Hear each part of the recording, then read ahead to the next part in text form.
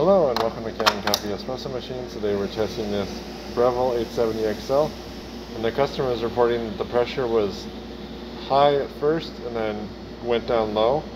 And I think the real issue was that the grind was setting way too coarse and so we adjusted the we adjusted the grind down to 3 and then we also um, set how much coffee we put there in the basket so it was way over here.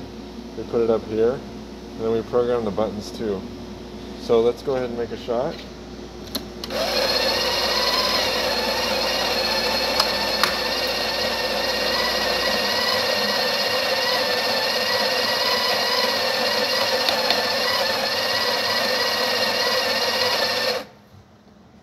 So I really think the settings were just off on this machine. Um, we pulled several shots uh, without any issues after we um, adjusted the settings.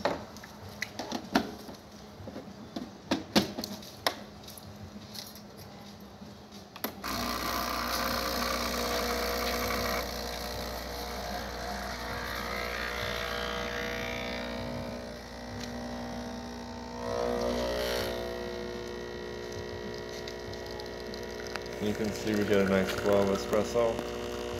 Really beautiful espresso actually. And the pressure, pump pressure is very consistent.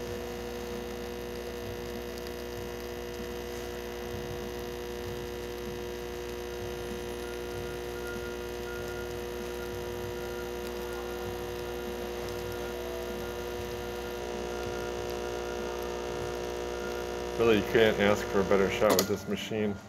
And let's go ahead and test the steam.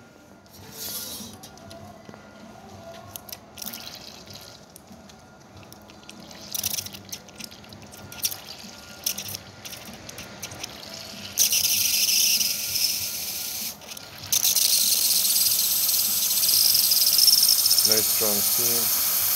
So thank you for pairing with Kanen Coffee. Please like our videos below. If you'd like to see more videos like this, subscribe to our channel. Thank you.